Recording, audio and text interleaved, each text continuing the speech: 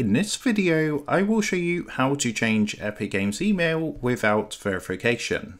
So let's jump straight into it. So in order to do this, the first thing you're going to want to do is come across to the Epic Games website, which is store.epicgames.com. Once you've come across to the website, come up to the top right hand corner and click to log into your account if you haven't done so already. Now, once you've gone ahead and logged in, what you're going to want to do is come up to the address bar at the top and after store.epicgames.com, you want to get rid of this section here about ENUS, your language selection. Then you want to go ahead and type help and then press enter. So what it's going to do is take you across to the support screen and from here you want to scroll down on this page into UC accounts, so this section here. From here you want to click onto Epic Games Store. From here what you need to do is scroll down towards the bottom and you're going to see a blue contact us button. So you want to go ahead and give that a click. Then what you need to do is fill out this support request form. So what you need to do is select the platform, so whether that's Mac or PC. Then what you need to do is click onto contact reason and select Epic account.